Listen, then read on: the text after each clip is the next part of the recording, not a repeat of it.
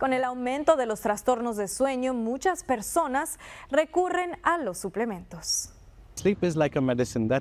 Dormir es como una medicina. Es el momento en que rejuveneces, vuelves a crecer, te sientes relajado, realizado. Las investigaciones realizadas en Johns Hopkins sugieren que la melatonina puede ayudar a reducir el tiempo que se tarda en conciliar el sueño y mejorar la calidad general del sueño, sobre todo en personas con insomnio o jet lag. Y eso es importante porque este patrón de sueño agitado afecta al funcionamiento diurno. Sin embargo, la melatonina no está exenta de inconvenientes o efectos secundarios. Algunas personas pueden experimentar dolores de cabeza o mareos. Además, la melatonina no está regulada por la FDA y algunos médicos prefieren el autocuidado como lo siguiente.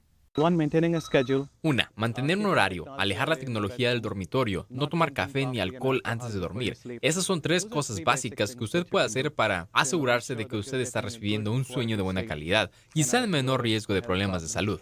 El otro suplemento para dormir comúnmente utilizado es el magnesio.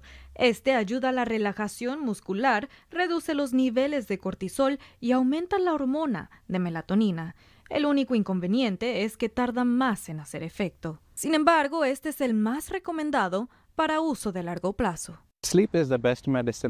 El sueño es la mejor medicina disponible de forma gratuita y mantenerlo debe ser una prioridad número uno.